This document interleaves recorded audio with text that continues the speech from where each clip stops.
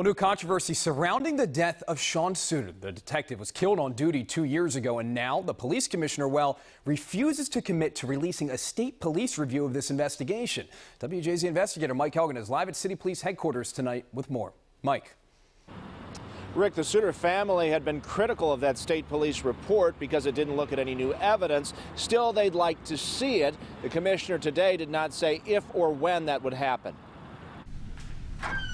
In his first public comments since the second anniversary of Baltimore detective Sean Suiter's death, Police Commissioner Michael Harrison would not commit to publicly releasing a Maryland State Police review of the investigation. The tasks that are still out to be completed, when they are completed, uh, and the state's attorney and I are satisfied that they are all completed, we'll turn that over to the, the medical examiner who will make a final determination. State police affirmed the findings of an independent review board commissioned by the police department that Detective Suiter killed himself while on duty in West Baltimore.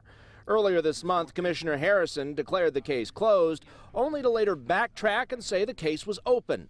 Here are his latest comments. You know, it's not technically ever closed until the coroner or the medical examiner actually rules.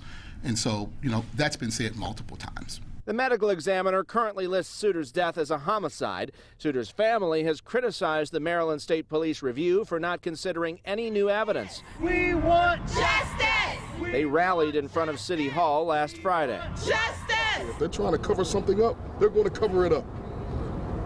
Clear. The cover up. Clear.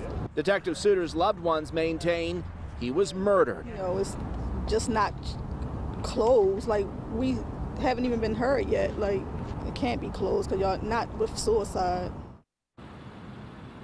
Suiter was killed with his own service weapon the day before his grand jury testimony in a police corruption case. Live at 7 at City Police Headquarters, Mike Hellgren, WJZ.